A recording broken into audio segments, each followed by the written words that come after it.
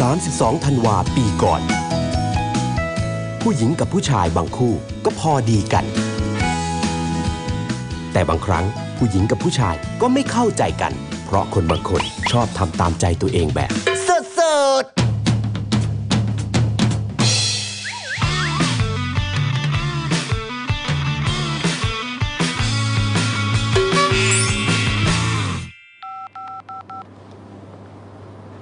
ที่โทรออกอะเบอร์เรานะ เราเราไม่ได้ขอ เอานะ เธอขอเราให้อะ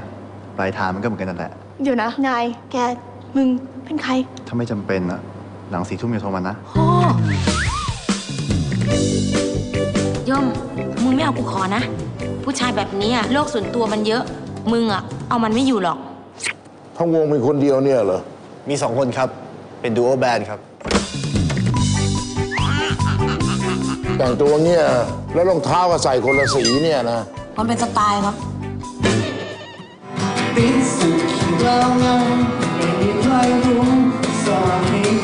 หมายความว่ายังไง ผมเป็นอินดี้ครับ ผมทำตามใจตัวเองไม่ทำตามใจใคร ผมไม่เน้นขายครับ ไม่เน้นขายสบายแล้วล่ะกูพ่อเจอสาวมา เห็นแล้วหัวใจเต้นแรง ไปซ้ำเขามาหรือยัง เพิ่งเจอเขาจะไปคิดอย่างนั้นได้ไง ทำไมไม่ซ้ำเราลูก การซ้ำกันเนี่ยมันเป็นศิลปะ ไปกลับไปซ้ำเขาป้าไอ้เขมไม่ได้อยากได้ร่างกายเขาหรอกเฮ้ยกูอยากได้วะนั่นไงคนเตนทั้งพ่อทั้งลูกอะแกเคยเจอคนที่มันแบบแปลกจนแกต้องคิดถึงปะวะ มึงคิดถึงมัน มึงมันเลว อีผู้หญิงใจง่าย อีชายร่างกายเปลือง มึงทอดสะพานให้มัน ฮะ อะไรของมึงเนี่ย คือว่าจะชวนกินข้าวอะ ฉันขี้เกียจไปอะ นายไปเถอะ เราไม่ได้ชวนไปไหน เราชวนกินข้าว เราทำข้าวมาเอง กล่องหนึ่งให้เรา อีกกล่องหนึ่งให้เธอไงแม่หนูว่ามันเกินไปแล้วนะ เกินไปยังไง เกินมาคนหนึ่ง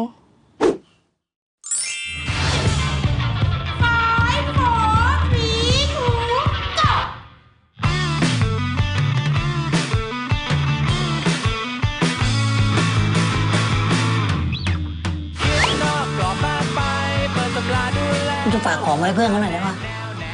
เอาเลยวะเข็มกัดรูปหัวใจ เขาคือคนที่พอดีสำหรับกูนะเว้ยฮะโคตรอยากเจอเลยอะ กูอยากโดนอะ เฮ้ย อาจารย์แน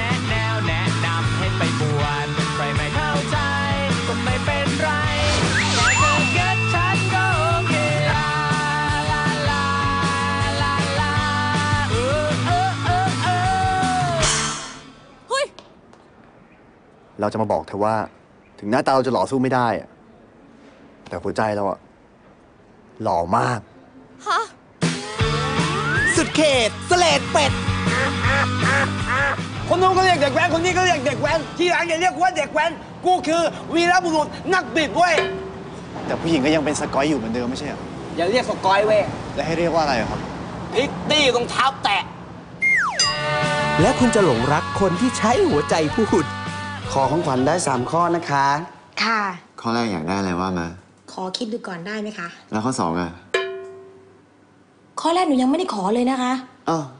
ก็น้องขอคิดแล้วนี่เฮียรวมด้วยเหรอเนี่ย 30ธันวาคมนี้ เตรียมรับความสุขแบบสุดขอบ